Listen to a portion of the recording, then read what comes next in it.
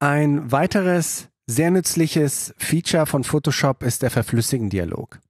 Der Verflüssigen-Dialog wird gerne zu Späßen verwendet, um zum Beispiel die Nase schmaler zu machen, die Augen richtig groß zu machen, karikaturähnliche Gesichter zu schaffen oder die Körper ganz abstrakt zu modellieren. Also eigentlich ein Filter, der für viele witzige Sachen genutzt wird. Tatsächlich ist der Verflüssigen-Filter aber wirklich ein sehr mächtiges Werkzeug in der Retusche. Und wie genau das funktioniert, das möchte ich Ihnen jetzt zeigen. Dafür dupliziere ich mir mal die Ebene nennen sie verflüssigen. Seit Photoshop CC kann man auch Smart-Objekte verflüssigen. Davor ist es leider nicht möglich. Das heißt, wenn Sie CS6 haben zum Beispiel, müssen Sie wirklich auf der richtigen Ebene verflüssigen. Ich habe CC, das heißt, ich kann hier die Ebene in ein Smart-Objekt konvertieren, wie gesagt, seit CC, also auch CC 2014, so wie hier gerade. Und alle weiteren Versionen gehen dann eben über den verflüssigen Filter, über das Smart-Objekt. Also Filter verflüssigen, hier ist er. Da öffnet sich ein Fenster, das sieht so aus. Und wenn ich jetzt mal ranzoome, möchte ich Ihnen mal jetzt die unterschiedlichen Werkzeuge vorstellen. Die Werkzeuge befinden sich auf dieser Seite. Der wohl populärste ist hier dieser Mitziehen-Finger. Das heißt, ich kann irgendwo hinklicken, sagen wir mal auf die Nase und kann die jetzt nach oben ziehen zum Beispiel.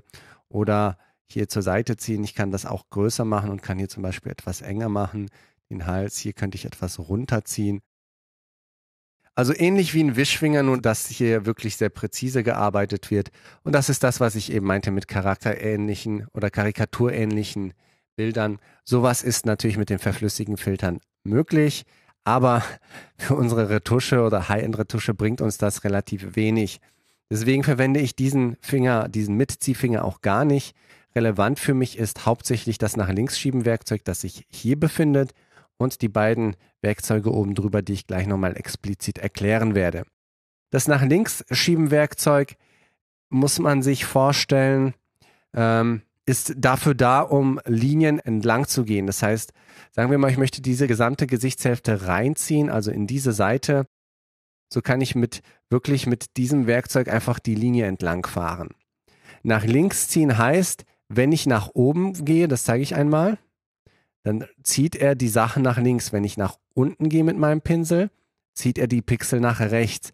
Gehe ich nach links mit meinem Pinsel, zieht er sie nach unten, gehe ich nach rechts, zieht er sie nach oben. Also genau optimal. Das heißt, wenn ich jetzt diese Linie hier mal entlang fahren würde, dann würde er das gleichmäßig nach innen schieben. Könnte ich vielleicht ein bisschen mehr machen.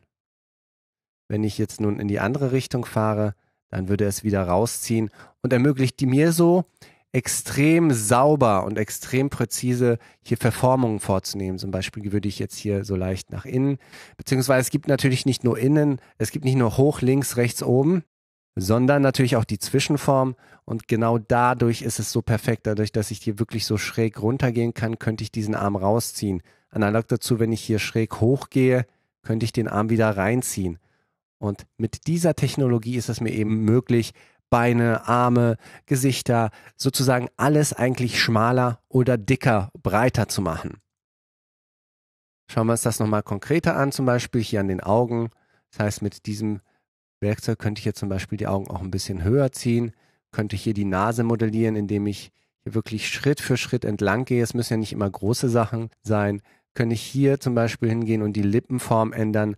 Aber all die Sachen werden wir später auch nochmal separat kennenlernen und die ganzen Technologien, die damit eben möglich sind, uns ein bisschen genauer ansehen. Hier könnte ich zum Beispiel jetzt ein, ein spitzes Kinn reinmachen oder das Ganze eben rückgängig machen.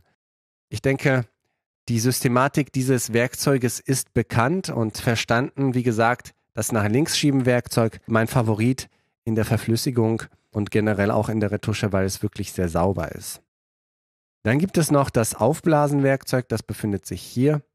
Mit dem Aufblasenwerkzeug kann ich, wie der Name schon sagt, Pixel aufblasen und zwar vom Zentrum. Das heißt, wenn ich jetzt hier ins Auge reinklicken würde, könnte ich die Augen dadurch größer machen. Allerdings muss ich natürlich immer die Mitte erwischen. Wenn ich das nicht mache, dann verzieht er das sozusagen zur Seite. Auch hier nochmal wieder herstellen. Das war jetzt nicht das, was ich zeigen wollte. Aber sagen wir mal, ich möchte die Augen jetzt hier wirklich minimal äh, vergrößern. Und dann analog zu diesem Werkzeug gibt es dann das Zusammenziehen-Werkzeug, mit dem ich eben, wie der mal schon sagt, Sachen kleiner machen kann. Und auch hier der Tipp tendenziell immer eher klicken und nicht ziehen, denn ziehen, da passiert zu viel dann auf einmal. Das heißt eher klicken.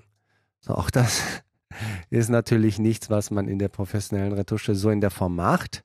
Aber wirklich, ähm, hier zum Beispiel, wenn ich jetzt reinklicken würde, würde ich den Ausschnitt ähm, hier an der Stelle kleiner machen und hier jetzt zum Beispiel könnte ich ein bisschen aufblasen und so ähm, die Brust vergrößern.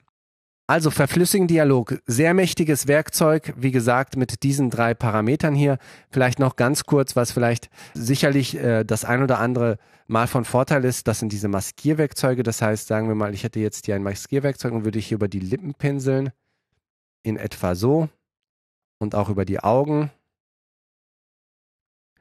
grob und wenn ich jetzt hier mit diesem Werkzeug arbeiten würde, dann würde meine Augen im Prinzip davon nicht betroffen sein, auch we genauso wenig wie die Lippen.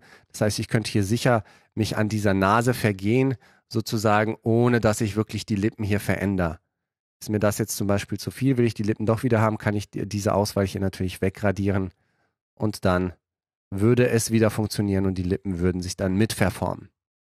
So viel zum Thema Verflüssigen. Das Ganze kann ich jetzt bestätigen und man sieht hier schon, er hat einen Smart-Filter angewendet, er hat auf ein Smart-Objekt das Verflüssigen angewendet. Das heißt, ich kann mir das hier problemlos auch ein- und ausblenden und könnte notfalls durch einen Doppelklick auch wieder rein in diesen Dialog und hier vielleicht alles nochmal wieder herstellen oder nochmal Feinjustierungen vornehmen.